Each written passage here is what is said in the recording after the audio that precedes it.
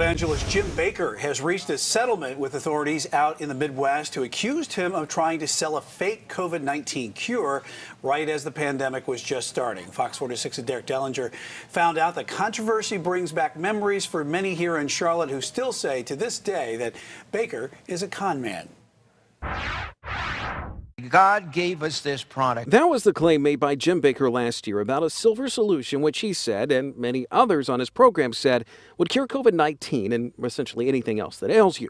Touted as a miracle cure, authorities and experts say essentially it was snake oil, dangerous, and even capable of turning skin blue.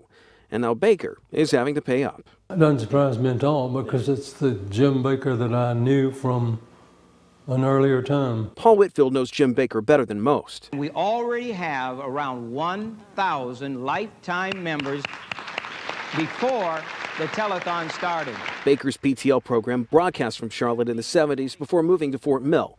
Whitfield followed him a lot during that time, but came to change his opinion of him after a visit to the Heritage USA campus. One day we went out there and he had a man who was teaching everybody how to speak in tongues. Yes and it was a con like everything else that Jim did. Whitfield wound up being one of the lawyers behind a massive class action civil lawsuit against Bakker stemming from Bakker's financial scandals involving PTL.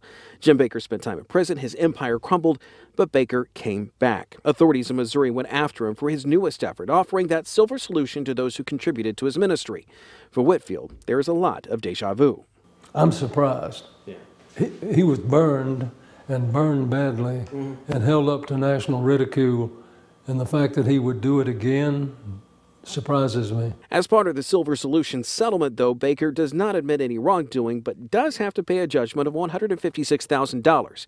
He also can't sell that Silver Solution again as a cure for anything. Derek Dellinger, Fox 46.